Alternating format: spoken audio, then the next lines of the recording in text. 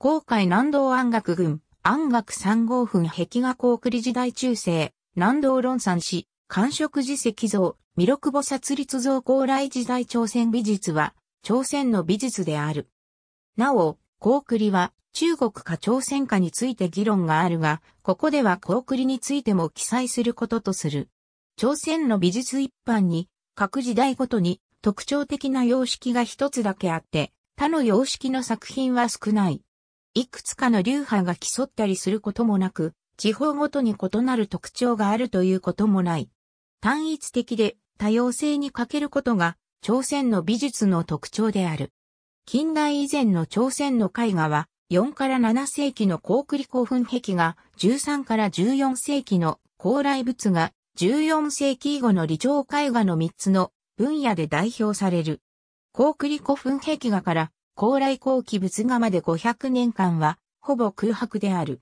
高栗古墳壁画はユネスコの世界遺産になっている。中国吉林省周安市を中心とする、高栗前期の都の城と古墳と、朝鮮民主主義人民共和国の平壌市と、南浦市の高栗古墳群がある。高麗仏画は、次のリアサで仏教が弾圧されたため、朝鮮半島にはほとんど残っておらず、大部分が日本にある。洋流、観音など限られた図像が多く、多様性に欠けるのが特徴である。李朝絵画は、中国の画印を真似て作った図画書の画印と文人画になっていた。彼らが描いた正統派絵画はソウルや会場など限られた都市の上層階級だけに受け入れる形で存在し、画壇の広がりが見られない。朝鮮では美術を受け入れる町人社会や地方都市が形成されなかったからである。李朝後期になって中国ではなく朝鮮の風景を描いた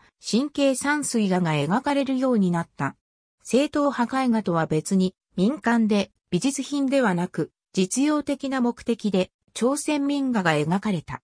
日本統治時代に劉宗義が民画に価値を認めて収集し始め研究の対象とした。日本統治時代に高忠東、金観光、ラカオルスズラが日本に留学して西洋画を学び、朝鮮に西洋画をもたらした。北朝鮮ではプロパガンダ絵画が描かれ、伝統絵画に彩色や西洋画の技法も取り入れた絵画を朝鮮画と呼んでいる。朝鮮画の親である帝少南寺は日本に留学して美術を学び、日本の戦争協力画を描いたが、北朝鮮で人民芸術家の称号を受け、美術家同盟副委員長を務めた。日本統治時代に中国の影響を受けた伝統絵画を西洋画と区別して東洋画と呼び始めたが、1970年代に韓国で日本画という言葉があるのだから、東洋画ではなく、韓国画と呼ばなくてはならないと主張され始め、1980年代から公式的に韓国画という言葉が使われるようになった。韓国では、彩色画は日程残死とされて排除され、韓国画は文人画、水墨画が中心となった。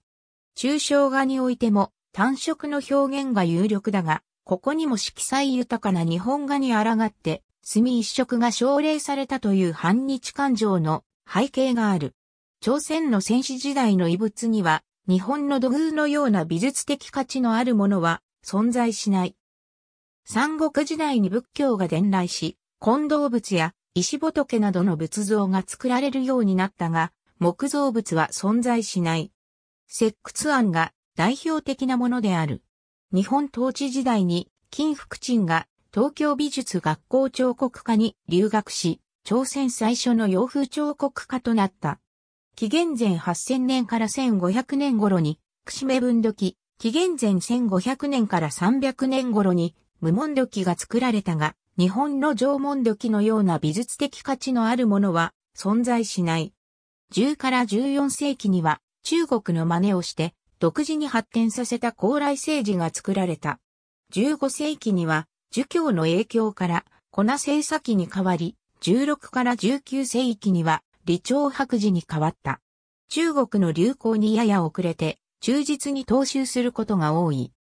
中国から螺鈿が伝わり、高麗で少数制作された。現存するのは、コート京箱で14例のみ。朝鮮半島には一つだけしか残っておらず、大部分が日本と欧米にある。世界遺産になっている仏国寺には、白木時代の石塔である、釈迦塔と多宝塔が残されている。現存する朝鮮最古の木造建築としては、浮石寺の無料寿戸の大鳥定時極楽殿などが挙げられており、いずれも建立年代ははっきりしないが13世紀頃と思われる。なお、仏教弾圧により、廃寺となり荒廃していた仏国寺であるが、日本統治時代に再建された経緯がある。朝鮮総督府は、1915年に総督府博物館を開館し、1926年に慶州文館、1939年に不与文館、1940年に公衆文館を設立した。これが現在の韓国国立中央博物館となっている。1931年には海上府立博物館、1933年には平壌府立博物館も開館した。民間でも1924年に浅川匠、浅川白京、竜宗義ら日本人が朝鮮民族美術館を設立した。日本統治時代の1922から1944年に毎年朝鮮総督府が朝鮮美術展覧会を開き、新人芸術家の登竜門としての役割を果たした。これが大韓民国の大韓民国美術展覧会に受け継がれた。第二次世界大戦が終わった直後の1945年8月にソウルで朝鮮美術建設本部が結成されたが、秋には解体した。北朝鮮では朝鮮文学芸術総同盟の参加に朝鮮美術家同盟がある。ありがとうございます。